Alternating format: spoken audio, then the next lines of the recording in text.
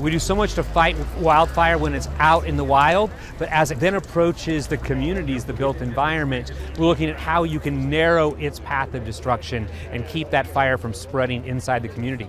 The Wildfire Risk Forum is educating people, telling them how they can best keep their homes safe. The Insurance Institute for Business and Home Safety is saying even if you don't live close to open land, your home could still be at risk.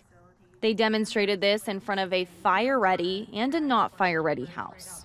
It's not the flame, it's the embers that fly and get to you. You want to make sure it's just going to fizzle out and not ignite your landscaping, your furniture, and ultimately your home. As embers are the main cause of home ignition, there are a few things you can do to keep that away from your home. First and foremost, it's about defensible space. They say to give your house five feet of room from anything combustible, even healthy watered plants. Those become little green gas cans and they light on fire and they cause a threat to our buildings. That also includes fencing material. Make sure that the last five feet that touches the building is non combustible, and that's going to prevent the fence from wicking the fire right to your house.